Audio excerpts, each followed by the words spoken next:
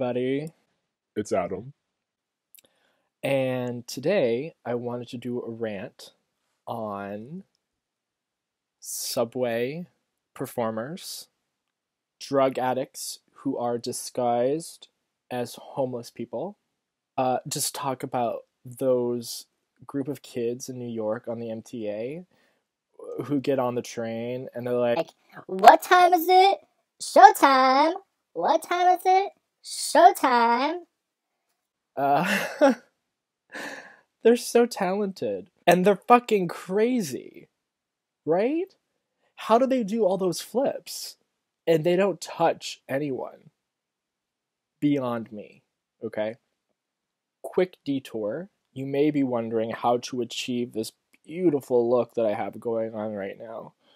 Um, I don't want to look like Cousin It at the moment because my hair is so long that if it were to go in front of my face, I'd have to part it like that, and it just looks gross.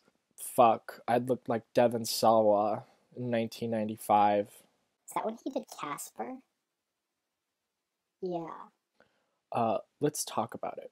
So, if you live in New York City, you're bound to run into some performers, artists on the subway who make their living uh, uh, partly or all of it um, from your donations. And you know what? A lot of times, these people are like really talented. I've seen like barbershop quartets come on the subway line and they blow me away, right?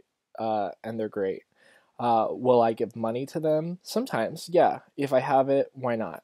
Um, because those are the guys that are, or girls, who you can tell, okay, this person has talent and they're just sharing it. Cool, it's harmless, right? Then you get the artists who come. I'm, I'm not going to call these people artists, actually. No, I don't even know what to call them. But they come on, they're like, Like, hey, let me rhyme you a riddle. I'm like, rhyme me a riddle? Does that sentence even make sense? They demand money from you. This one time, this guy uh, was doing personalized raps for people. And I was new to New York. It was like 2008. And, you know, I looked green. Little did they know I'm a smartass. I had my headphones on to make it look like I was busy, like everybody does in New York. And he sat down in front of me and started rapping. And I turned the volume down. He he asked for money. And I I said, "What?" He said, "I just gave you a personalized rap." And I said, "Oh." He said, "What? That that wasn't free." I said, "Well, um, thank you so much, but you really should be paying me for my feedback, and I'm happy to give it to you. I think you have some work to do." He wasn't happy. I'll end that story there. One of my pet peeves are the drug addicts who disguise themselves as homeless people in need uh, to get your money. I see tourists fall for it left and right. Oh, um, and these are the people who have the same story every single time you see them. On the F train, I'd always see him in Brooklyn, and this dude, you know, he's probably still doing it. Uh, his story all the time was, Hey guys, I just got out of the hospital last night and I have a job interview today and I just need some money, you know, to get to my job interview. it's very clear this person is like hopped up on meth. Uh, you got the scratches on the mouth, got the wrinkles. I mean, this guy was just like awful. And finally, this dude on the subway called him out on it. He's like, I see you almost every day with the same story. You're just a drug addict. And the guy was like, "Ugh, I didn't know what to do. and he escaped the, the, the car. And that gave me a little confidence boost to kind of say something. I was like, you know what? Next time I see this guy, I'm going to say something. Well, my chance came. the following summer. Can you believe it? He had the same story months later. And he came on, he said, I just got out of the hospital last night. I'm going to my job interview today. and I said, Hey, dude, I was a little more discreet. I said, I see you on here all the time with the same story, okay? You're a drug addict. And he looked at me.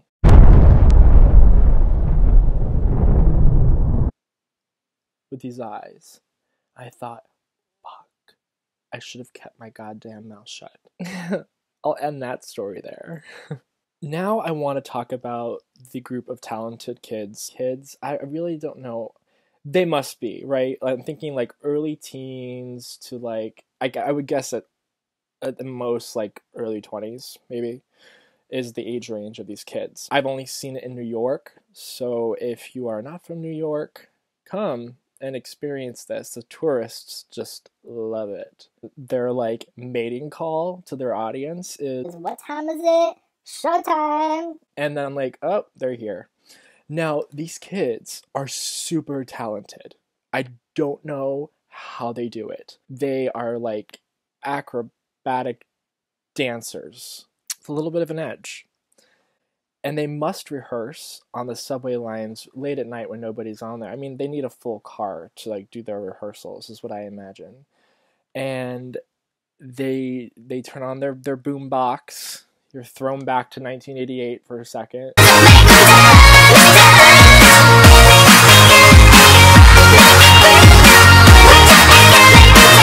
They jump and do flips, and and at no point do they touch or accidentally hurt a patron.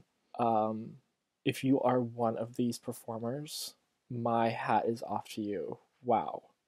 Um, being a gymnast myself, fuck. I mean, you kids are great. Um, I would say I have a lot of respect for you guys. And when I do have money, I do give it to you because you guys are pretty dope. And in conclusion, if you are a drug addict trying to get money posing as an artist, Fuck you. you know, don't use art as a way of, of um, supporting your habit because I won't do it. Mm-mm, not me. You may get the tourists, but you're not going to get Adam. Mm-mm. And you're, you're way obvious. I mean, if you're going to come on and at least try to pretend to be an artist, try to make yourself not look like you haven't done like seven lines of cocaine, injected yourself as some kind of drug, intravenous drug into your arms, and hide your fucking track marks for God's sake, because you give yourself away. Anyway, uh, I just thought I would want, you know, just wanted to talk about that. Uh, peace, love.